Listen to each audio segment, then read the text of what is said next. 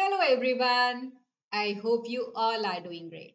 My name is Anjali and I'm presently working with Microsoft in their Windows team. I have been working here for approximately 4 years. Prior to that, I was working with Siemens Healthineers and there also I worked for roughly 4 years.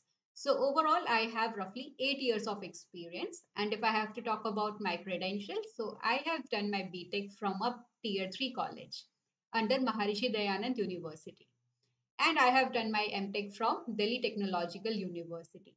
A lot of students are extremely curious to know that how they can, from a tier 3 college, how they can land up a job in the tier 1 organization. So that is pretty much easy. All you need is to keep your system design and DSA strong. So that is all you are going to be needing here. I have also done the similar thing. So if I can do, you all can also do the same.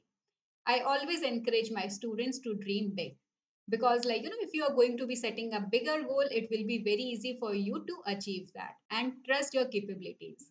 Also when it is about interviews you do not have to have that interview anxiety. Just be as relaxed as you guys can and trust me the end results are going to be extremely great. Also some people have this question in their mind what to do if they have some educational gaps. So even if i have to talk about my own experience i have an educational gap of uh, approximately a year. So, what exactly happened? After completing my BTech from a tier 3 college, I wanted to get a company extremely good, like some tier 1 company. But I was not able to get the same. So, what I did, I took a year of gap where I was preparing for gate. And after the gate, I got my admission in DTU. After that, now I am working for Microsoft and I have also given interviews in other companies as well. And trust me, guys, nobody is actually going to be questioning you about your educational gap.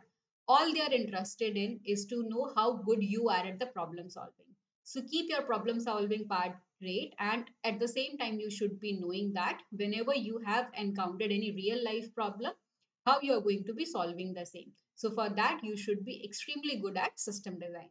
You should be knowing both of the parts, the low level design as well as the high level part.